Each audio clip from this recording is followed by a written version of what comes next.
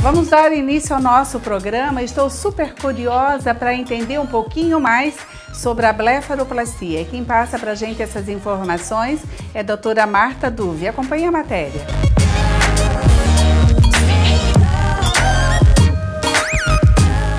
No começo do programa, eu falei que a gente ia conversar com a doutora Marta sobre a blefaroplastia.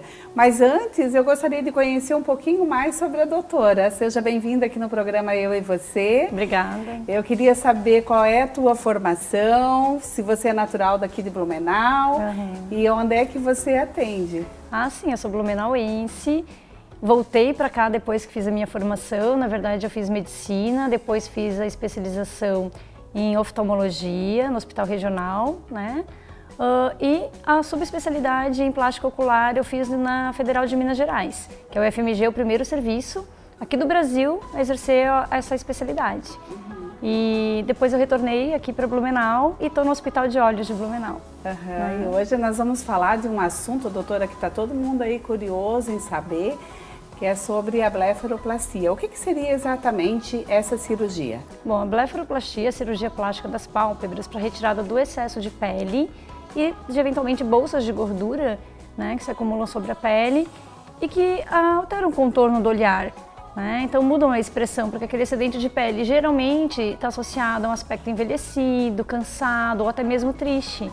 E essa pele a gente pode retirar esse excesso sem descaracterizar a pessoa. Então não muda o formato da fenda, dos olhos, não muda a posição do supercílio, não dá aquele aspecto esticado que é estigma de plástica, só retira o que veio sobrar com o tempo, então a pessoa parece a sua versão melhorada, né? A própria pessoa mais jovem. Doutora Marta, é, quem pode operar e qual seria a indicação? Quem pode operar eu avalio caso a caso, porque não tem um limite de idade, tem pessoas que são bem novas, já operei menina de 19 anos, mas que tinha muita sobra de pele, dobrando em cima dos cílios.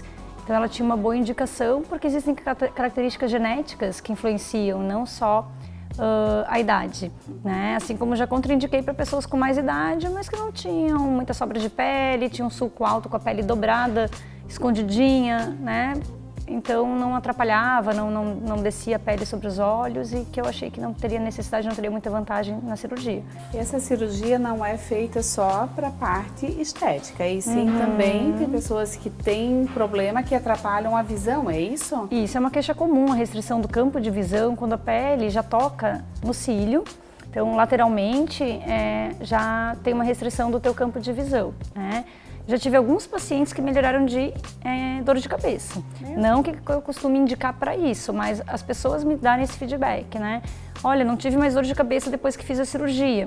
Eu acredito que tem relação com aqueles casos em que a pessoa faz a contração do músculo frontal, que é da testa, para subir a sobrancelha quando a pele já toca no cílio. Então ela fica com uma cefaleia tensional que melhora após a cirurgia. Olha só uhum. que interessante isso. Teria uma época do ano é, mais apropriada para fazer essa cirurgia ou não? Bom, a gente fala para depois da cirurgia evitar sol durante o primeiro mês. Claro que a pessoa pode passar filtro solar, usar um óculos de sol. Então a gente faz o ano inteiro e eu não vejo diferença no resultado.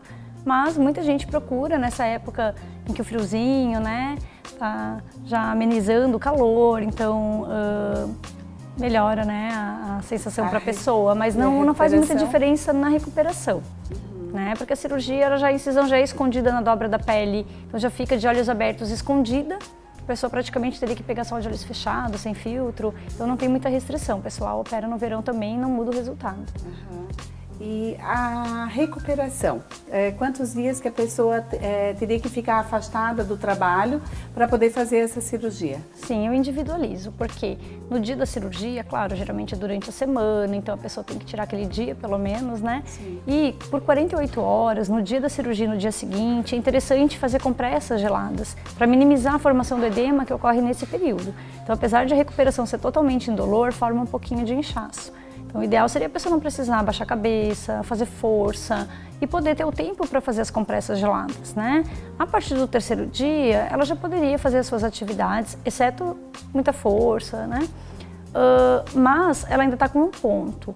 Então, o ponto é fininho, igual um fio de cabelo, é por baixo da linha de dobra na prega palpebral e eu colo vários micropores para deixar bem alinhado, bem juntinho o bordinho desses pontos para ficar escondidinho. Então essa sutura não faço contra a linha de força, faço por baixo da linha de dobra, uma sutura contínua e alinho bem com micropores. A pessoa vai estar com umas fitinhas de micropores, né? Que quem não se importa pode trabalhar problema, com ponto. Pode trabalhar mas tem pessoas que preferem se afastar do trabalho ou fazer nas férias para ninguém ver ela lá com as fitinhas. Sim, daí né? volta já toda já, bonitona. Né? Uhum. Doutora Marta, essa cirurgia tem prazo de validade? Digamos que eu faça a cirurgia com 40 anos. Uhum. É, lá com 70 anos, de repente eu vou ter que refazer essa cirurgia ou não? Bom, depende, né? Porque a pele que foi retirada, toda aquela sobra, foi embora. Ela não foi só reposicionada, esticada, ela foi tirada. Então essa pele nunca mais volta, você já tem o ganho. Se você tem um excedente aos 40, em vez de esperar cair, atrapalhar a visão, né? Você já poderia estar bonita enquanto ainda é jovem, né? Com, com essa pele não vai voltar. Então o que vier a sobrar com o tempo, que depende, varia muito de pessoa para pessoa, uh, se somaria ao que foi tirado. Então sempre é vantajoso, ao meu ver. Né? O resultado é de longo prazo. Mas existem pessoas sim que quando fazem bem jovens, décadas depois sobra um pouquinho, vem fazer uma retirada um daquele restinho, um retoquezinho e que mesmo assim o que eu percebo que tira bem menos pele do que quem faz a primeira cirurgia.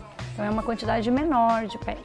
Uma dúvida não só minha, mas de muita gente, doutora, é se o botox influencia no ganho dessa pele na pálpebra. Bom, na verdade, o Botox, amenizando, suavizando a tua expressão, vai diminuir a contração do músculo, que querendo ou não ajuda a lacear a pele, tá?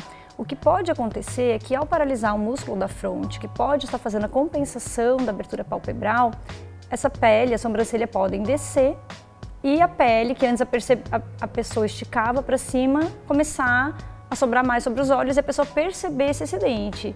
Então, querendo ou não, o Botox interfere sim de interfere. alguma forma. Já aconteceu, né, de o um paciente fazer um Botox, compensava com a contração do músculo frontal, a hora que paralisou, a pele começou a tocar no cílio e disse, ué, caiu minha pálpebra, né? Agora vim procurar você para fazer essa cirurgia da pálpebra.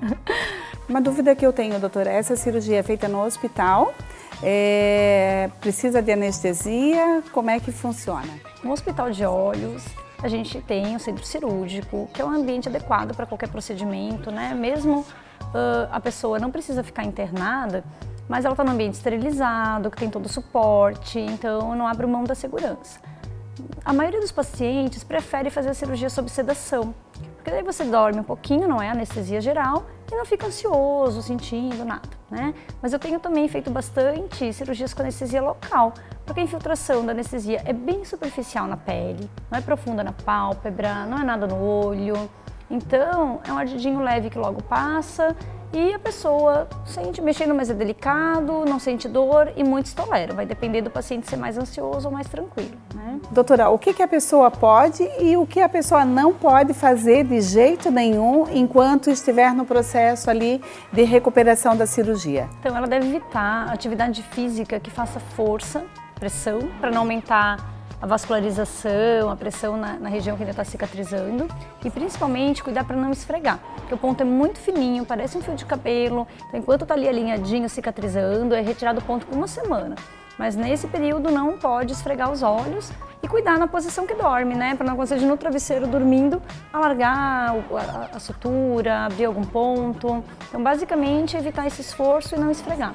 Bem simples. Bem tranquilo. tranquilo bem tranquilo. Uhum. Legal. Doutora, eu gostaria que a senhora deixasse então uma dica para as pessoas que têm vontade de fazer essa cirurgia, mas têm um pouco de receio, têm um pouco de medo, assim como eu também, né? Tenho receio de fazer, porque a gente está tratando do rosto, né? E o rosto da gente é o nosso cartão de visitas. Acho que é importante, em primeiro lugar, procurar um bom profissional, né? alguém habilitado e que te avalie, te explique, esclareça as tuas dúvidas, né? Porque a cirurgia ela é bem pouco invasiva, é segura, dá um resultado cosmético maravilhoso. Na prega palpebral, a gente esconde a incisão e na pálpebra, a pele, além de ser fina, não tem o subcutâneo, que é aquele tecido embaixo da pele onde forma a fibrose. Então é um lugar perfeito para esconder incisão, né?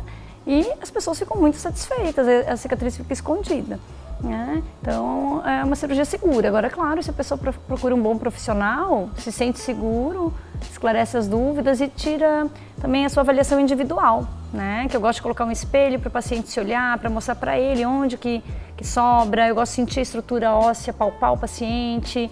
Então aí a gente consegue esclarecer as dúvidas pessoais. Então fica aí a dica da doutora Marta. Muito obrigada, doutora, pela obrigada. nossa entrevista. Gostei bastante. E se você se interessou, ainda dá tempo de você fazer a cirurgia e ficar mais bonita ainda até o final do ano.